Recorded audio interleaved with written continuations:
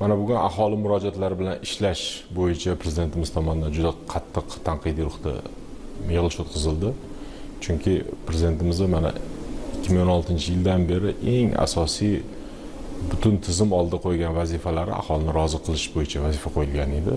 Mana oxirgi yillardagi eng katta o'zgarishlardan ham qaraydigan bo'lsangiz hamma sohada baribir o'zgarishlar bo'lyapti. Masalan bizani tizimni olib qaraydigan bo'lsa ham maktablarni remonti maktablarni joriy ta'mirlash yangi maktablar qurish va hokazolar bo'yicha ham ancha o'zgarishlar bo'lishiga qaramasdan sekin sekin baribir bitta maktab yaxshi bo'lgandan keyin keyingi maktabni ham yanada yaxshiroq qilish bo'yicha aholimizni murojaatlari ko'payishni boshladi.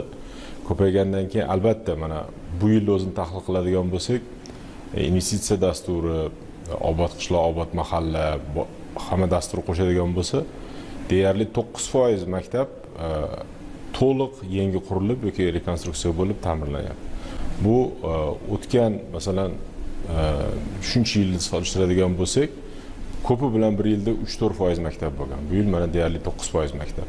Lekin albatta yillar davomida yig'ilib qolgan muammolarimiz ko'p.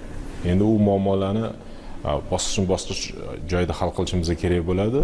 Endi ularni shunaqa bo'ladigan bo'lsa ham baribir eng katta vazifamiz o'sha joylardagi hokimiyatlar bilan birgalikda har bir bo'layotgan murojaatni o'rganib chiqib kerak bo'lsa o'sha tegi muammoni tahlil qilib va qachon hal bo'lishi bo'yicha aniq dastur qilib aholini rozi qilish degan vazifa qo'yildi.